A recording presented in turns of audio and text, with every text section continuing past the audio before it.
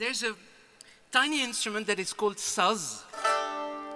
Saz means instrument in Turkish.